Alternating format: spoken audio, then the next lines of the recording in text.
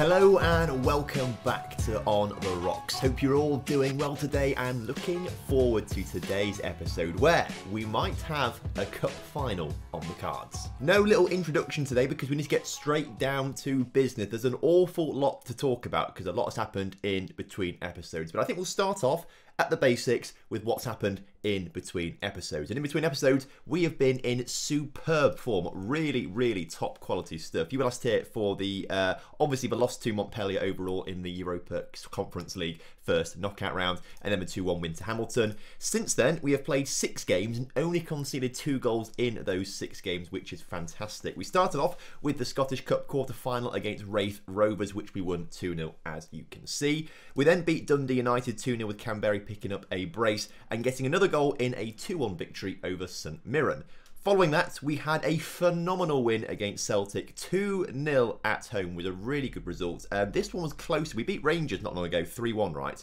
Uh, this one wasn't as far away. I mean, it was closer. 15 shots to 12 shots. I think the Rangers game was like 25 shots to 10 shots for Rangers. But we played really well. They missed a penalty, which didn't really help them out massively. And in the second half, we were superb. So we got a really good result there for us to win 2 0. Followed up with a 3 0 win against St Johnstone and then a 2 1 win over Hibs last time out. Rounded off a win in every single game since you were last here. That now takes us into the championship round, which is quite exciting. So, of course, we're fighting for the title. Though we're not going to win the title, there is still stuff to play for this season. But first things first, we've got the Scottish Cup semi-final and we've been gifted Ayr United from the Scottish Championship. It was us, Ayr, Celtic and Rangers left in the Scottish Cup semi-final and absolute dream, Rangers and Celtic got drawn against each other. So we've got Ayr United from the Scottish Championship to play really, this should be a routine win. Like, we should be getting ourselves to the Scottish Cup final. Today, we will definitely play the Hibs game, and we might even do the Celtic game as well, because that might have some big implications. We are currently only two points behind Rangers, which is massive. We've got five games to go in this championship group, and there's a huge chance that we could actually overtake Rangers, get second place, and get some Champions League football next season. Unfortunately, as you can see, unless Celtic lose every single game, there's no way they're not winning the league title, right? So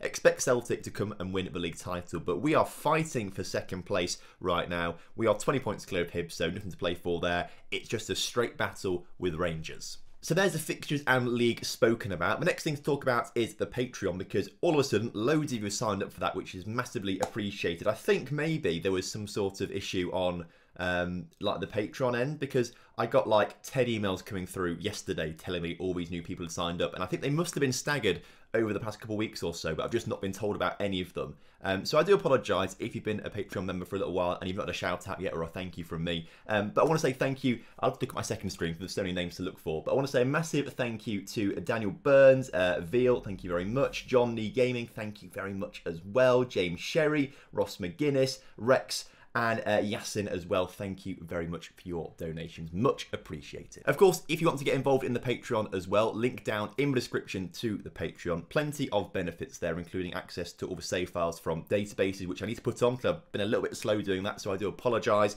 Uh, there's a new Patreon podcast, which I have not yet recorded, so need to record that to bring it out. That should come around at the start of every month, so that new podcast will come out in a few days' time as well. And also, you get to have a regen named after you if you subscribe to a certain level. And that's the next thing to talk about. You saw it in the title of today's episode. It's been the youth intake day and it was a decent one. So on the screen right now, you will see a screenshot of said youth intake and two really solid players coming through. Uh, Rice at the top there, uh, one and a half stars of current ability, five stars potential, a 15-year-old attacking midfielder, which is a nice position to have actually because we don't really have many attacking midfielders. But as you can see, his technicals where they matter are really solid. 15 technique already, First touch is great, dribbling's good. I'd like to get his finishing up a little bit, so maybe we could make him a shadow striker at some point or, or something like that. He's got some alright physicals for the most part. The physicals are okay. Could do with a bit more pace and strength and stamina and stuff like that, definitely. Uh, and then where they matter as well, his mentals are pretty good, but we can obviously get them tutored up to make those even better. So I'm very pleased with Daryl Rice. The other great player coming through is Gavin McCormack, and he's a striker and looks very good with 13 finishing already at 16 years old. Really nice pace, 14-14 on the pace and acceleration side of things, so he's a decent player.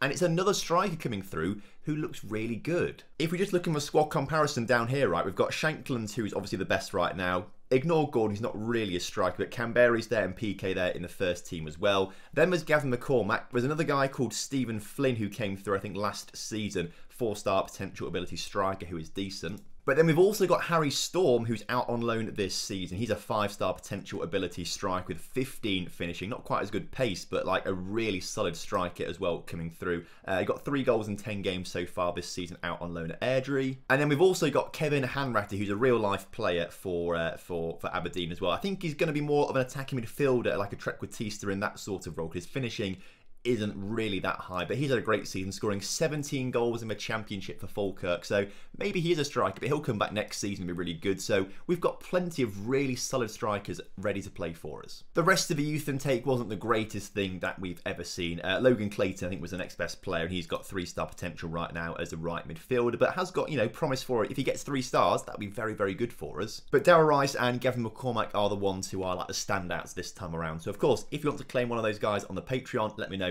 in the Patreon on the post over there. So that's another thing to get out of the way, which is very exciting. Another thing to talk about is the fact that I have been given a new contract, which is really nice to see. You can see here on the screen, offered a new four-year deal, which is fantastic. Uh, the transfer and wage budget, 5.5 and 110,000 pounds right now. That's just what we had left after, uh, obviously selling off McCrory. So quite a bit added to the transfer window, a transfer budget for that. So that's why it's so high there. I think next season we should get like six or seven million pounds to spend, which would be quite nice. But it sets out our objectives quite nicely. I guess in the long term, it's sign young players to develop and play entertaining football, which I think we are doing this season, and also develop players using the club's youth system, which of course we are doing as well. And then on the transfer front, no one else coming in just yet, but we are narrowing down the scouting search coming into summer. So the transfer special in a few days' time is going to be fantastic, I think. But I think after all that talking, we are finally through with all of the news and the updates. So plenty of things happening, and it's a very exciting point of the season for us right now, and a very exciting time in general, I think, to be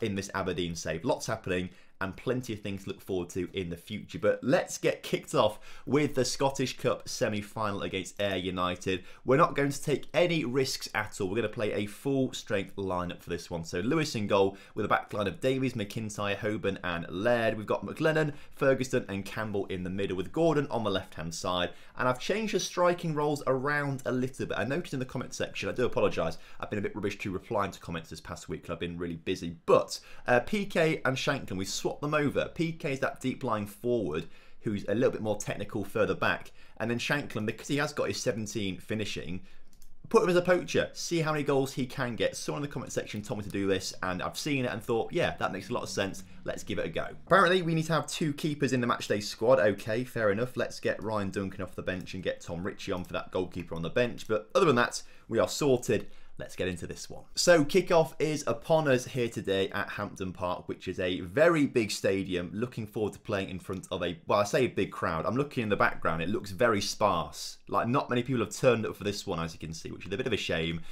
hopefully for the final, when we get there, which we should do, we'll have a full capacity stadium. Watching us beat either Celtic or Rangers, that'll be a fantastic way to finish off this season if we can do that. But we should be getting there.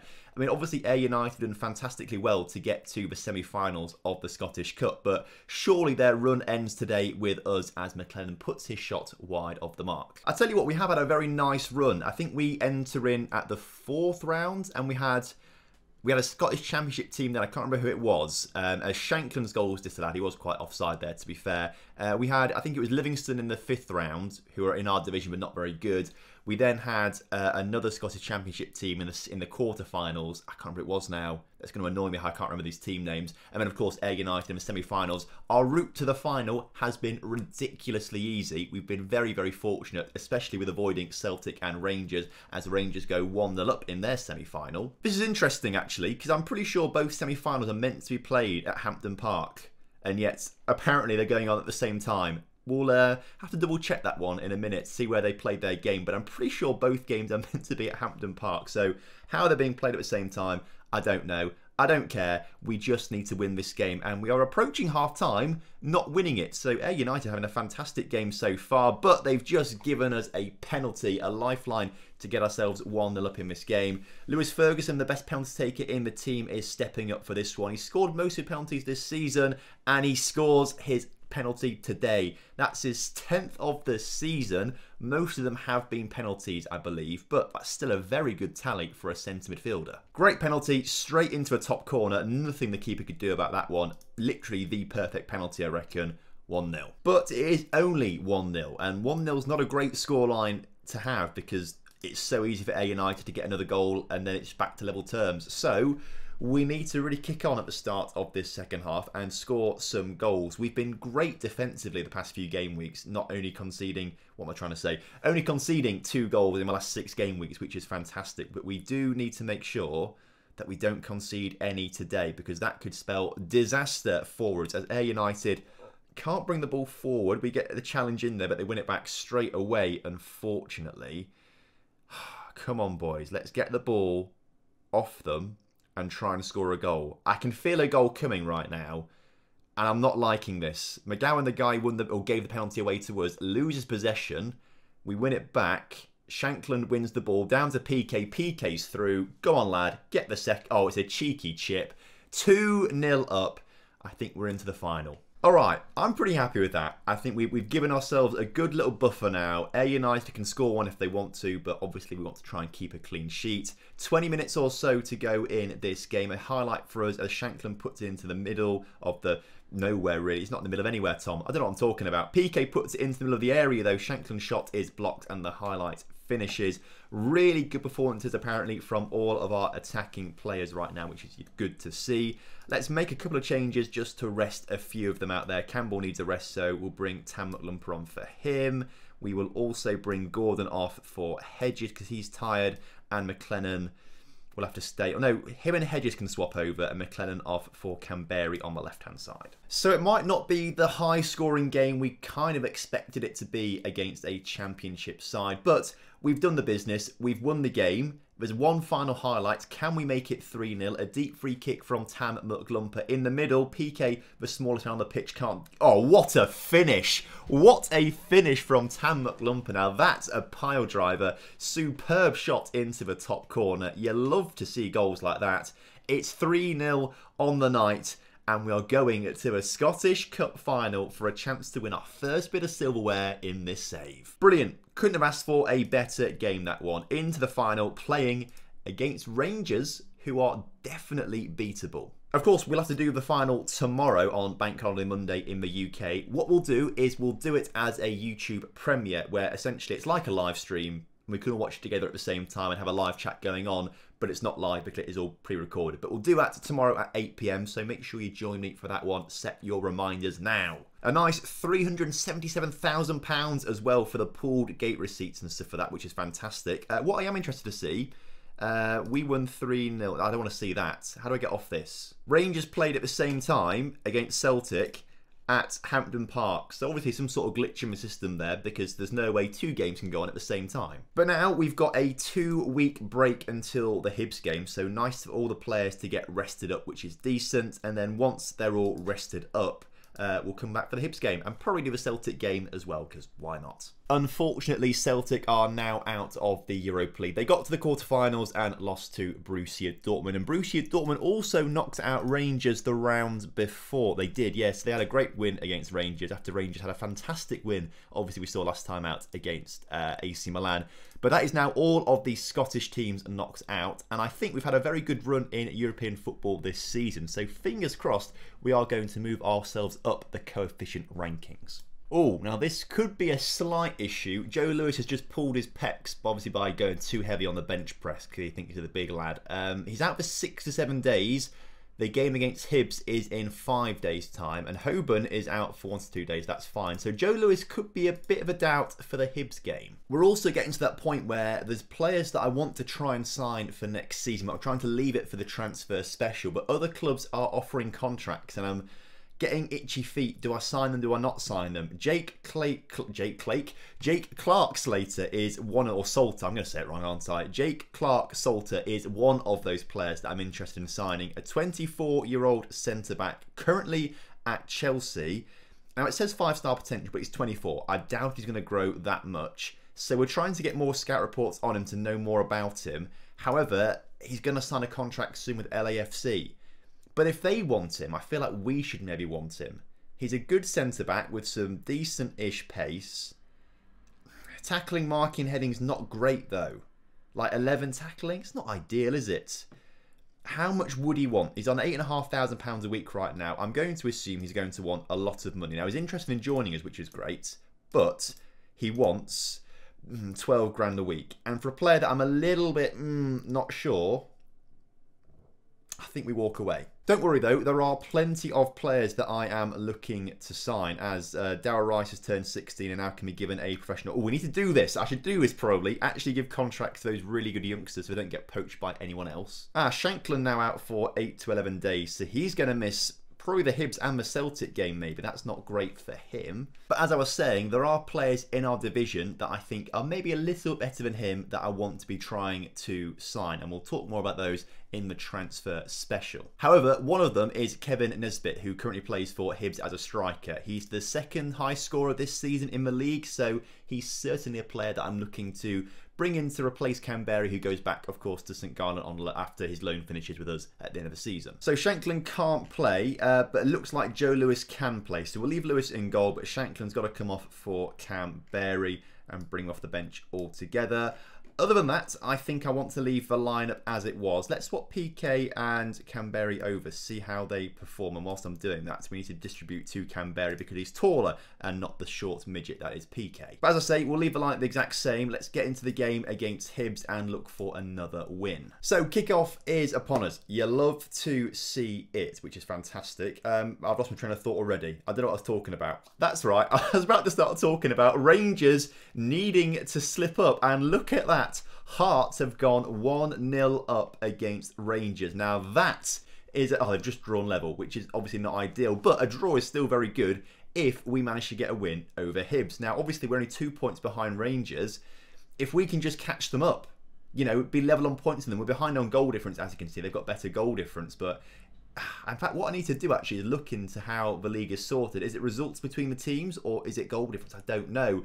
Either way, it doesn't matter right now because we are drawing. So as it stands right now, we are staying two points behind um, whatever they're called, Rangers. But a win would give us two extra points to go level on points with them. So we need to get the goals today. Come on, boys, do something clever in the second half. We've done great to limit Hibs to only two shots, but we've only had five ourselves. So let's go a bit more attacking. Shout demands more can we do something, please? Oh, it's a free kick for Hibs. It's going in the back of the net. It always does. It always does. It doesn't that time. You love to see it. But, okay, let's keep watching. Ah, it's still 1-1 there. Come on. Please win, boys. I can't believe we're not doing anything out there. Let's make some changes. Gordon has played poorly. Let's get him off. Let's put him up front instead of PK. Let's do that. Give him a go up front. Not as a poach because it's not really working out. Advance forward. Let's try that. PK off for Hedges. Uh, Ferguson off for Tam McLumper. And actually, Laird off for Roland Hernandez too. Confirm those changes all three at the same time. I also, what I meant to do was put some players on some more attacking duties as well. Complete wing-back attack. Come on. And also Tam McLumper as an advanced playmaker on attack. We need the goal. I mean, Rangers are doing us a favour. And Hearts are doing us a favour. They're drawing. Boys, we can't draw this. We have to... No, don't... Let's not lose it. Lewis, okay, good collection. If we do lose and Rangers draw, it's not the worst thing in the world, right? We'd still be three points behind them, but this is a golden opportunity that we need to be taking as Tam McLumper is through. Tam! Oh, it's a terrible shot, Tam. You hate to see it. You should have done so much better with that one. Very attacking. Demands more. Hernandez with a very long throw to Kamberi. Great ball, actually, to be fair. Kamberi coming forward. Past one. In the area. Shoots. Oh, why can you not get it on target? I can't believe this. Rangers are now 2-2 with Hearts, and yet we are not. Oh, this was the opportunity to go level on points with Rangers. And we've really bottled that one. Ah, oh, just going for we missed Shankland. We really missed Shankland in that game massively. I mean, it's another clean sheet for us. The clean sheet's fantastic. I love that. But, oh, that was a golden opportunity for us. And the thing is, the gap will increase a little bit because we've got Celtic next. And I'll imagine we're probably going to lose to Celtic. Now, we did beat them not too long ago, but I feel like that was a bit of a one off sort of scenario. We're not good enough to frequently beat Celtic, particularly away from home. So we'll go back to that five at the back system for the Celtic game as they book a Champions League ticket after winning their game. But we'll probably lose that but we can take comfort in the fact that Rangers have to play Celtic again, and fingers crossed Celtic beat Rangers, and then we'll be still only two points behind them. And then, oh, when it comes down to the last game of the season against Rangers, oh, next episode will be a really good double header with Rangers and Rangers, won't it? For second place in the league, hopefully, and a Scottish Cup final. But oh, I'm so excited. Let's see how we get on against Celtic. Also, while I think about it, as uh, Europa League games go on, as uh, Zorya get knocked out, hopefully, Athletic Bilbao smash them. But actually, that's quite bad for us because Ukraine are challenging us, right, for uh, places in European coefficient stuff. So the better Ukrainian teams do, the worse for us. So it's good they're going to get knocked out by looks of things. But I mention it because the time we beat Celtic in between episodes, I do remember now, they played their Europa League game on the Thursday, had a rest on Friday, we played them on Saturday. They were still exhausted. That's why we managed to beat them, I think, more than anything else. So now they've had a week's rest in between games, I mm, fully expect them to, to give us a, a battering.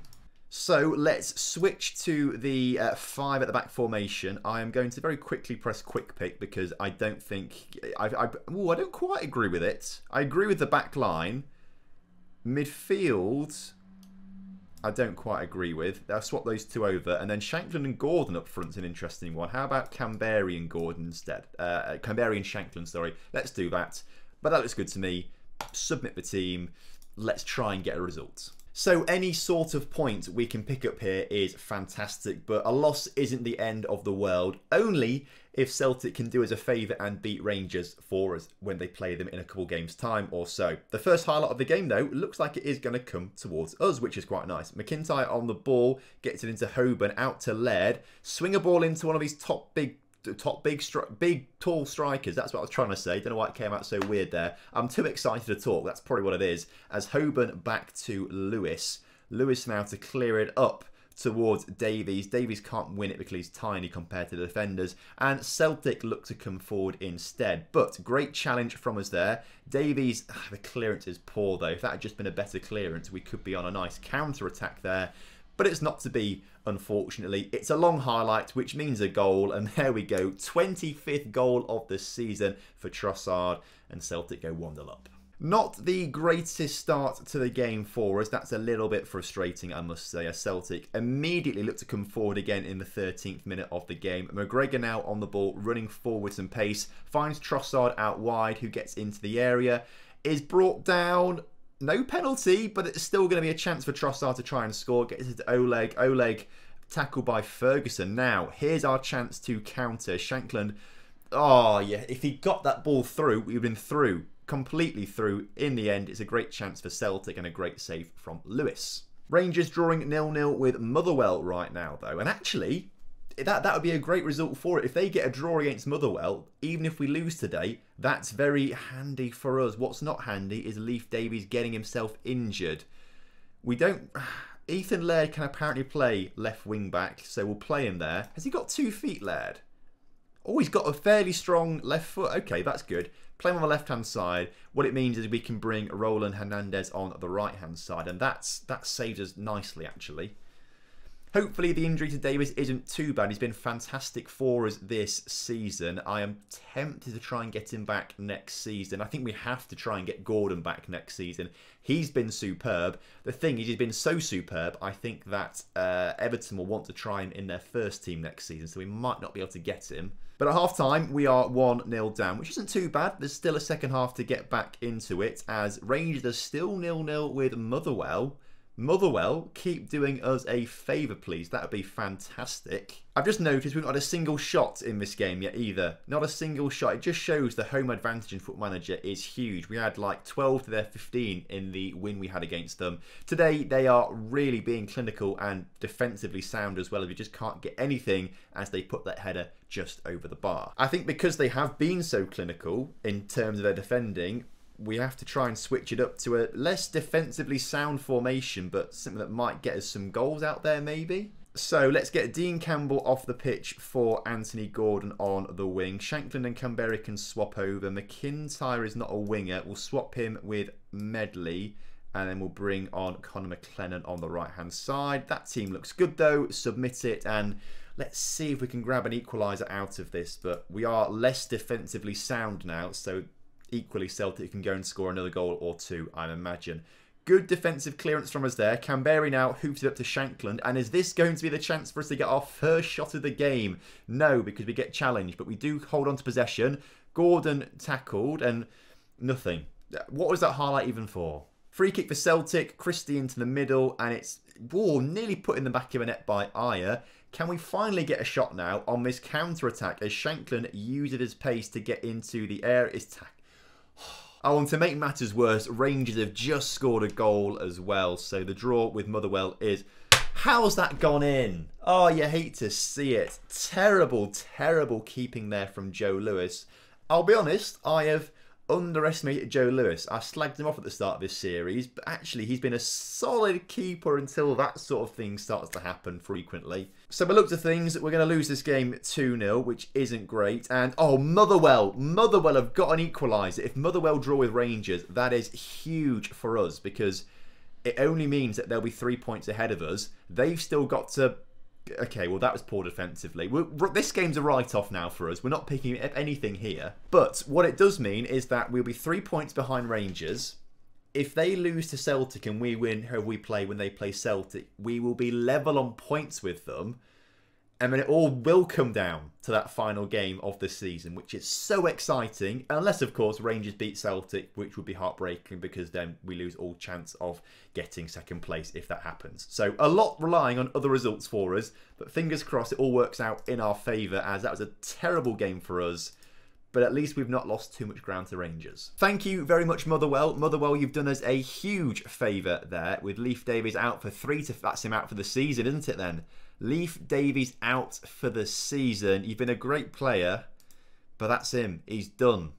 Out. Eight assists, two goals, 6.7, uh, 6.97 average rating is not too bad. So thank you, Leif. You might be back next season, but I'd like to think we can get someone better. So, as I say, we're back next time for Rangers and Rangers, which is going to be massive. That's going to be a YouTube premiere tomorrow at 8pm, so make sure you do uh, subscribe to the channel to get reminders for it, but also like today's video. Would hugely appreciate that, and comment down below for the YouTube algorithm. Tell me what you think is going to happen in tomorrow's episode. Will we come second, and will we win the Scottish Cup? And if you could choose one, would you rather win the Scottish Cup or would you rather come second in the league and get Champions League football? Either way, thank you so much for watching. Hope you guys have enjoyed today's episode. I will see you tomorrow. But until then, have a wonderful evening. Lots of love. Goodbye.